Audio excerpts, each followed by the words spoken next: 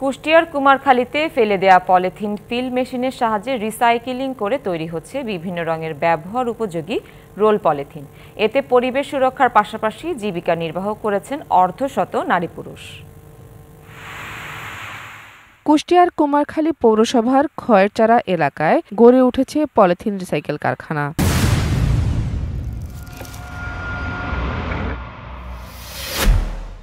দুহাজার বাইশ সালে বেসরকারি কোম্পানির চাকরি ছেড়ে এটি প্রতিষ্ঠা করেন রবিউল ইসলাম। এখানে নানা বয়সী প্রায় অর্ধশত নারী পুরুষ কাজ করছেন। বাসাবাড়ি, হাটবাজার, সড়ক ভাগার সহ নানা জায়গায় পড়ে থাকা পলিথিন ও প্লাস্টিকের বোতল সংগ্রহ করে বাছাই করা হয়। এরপর সেগুলো দিয়ে তৈরি হয় বিভিন্ন রঙের ব্যবহার উপযোগী রোল পলিথিন। যত্রতত্র যে পলিথিন হকাররা গুছায় গুছায় রাখে সেগুলো আমরা ভাঙির দোকান থেকে কিনে আসি, এগুলো রিসাইকেলিং করে রিসাইকেল করে আমরা হ্যাঁ প্রস্তুত করি। প্রতি মাসে প্রায় তিন থেকে চার হাজার কেজি পলিথিনের রিসাইকেল করা হচ্ছে।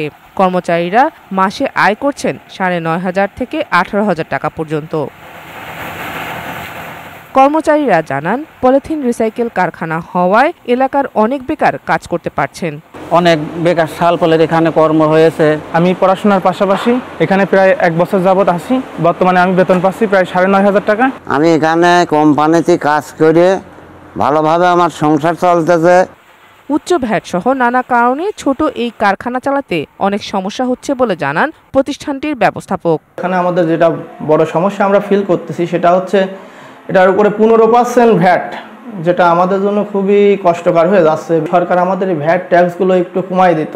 আর একটু বড় বড় পরিসরে আমরা করার চিন্তা ভাবনা করতাম। পরিবেশের ভারসাম্য রক্ষার পাশাপাশি কর্মসংস্থান সৃষ্টিতে সহায়ক ভূমিকা রাখায় প্রশংসা কুড়াচ্ছে প্রতিষ্ঠানটি। রবিউল ইসলাম একজন উদ্যোক্তা হিসেবে একই সাথে লোকজনের কর্মসংস্থান যেমন করছে এবং পরিবেশের জন্য ক্ষতিকর যে পলিথিন সেগুলো সংগ্রহ করে রিসাইকেল করছেন। পরিবেশ বান্ধব এই ধরনের উদ্যোগে সরকারি প্রণোদনার দাবি কুষ্টিয়ার ক্ষুদ্র ও মাঝারি ব্যবসায়ীদের। DBC news desk.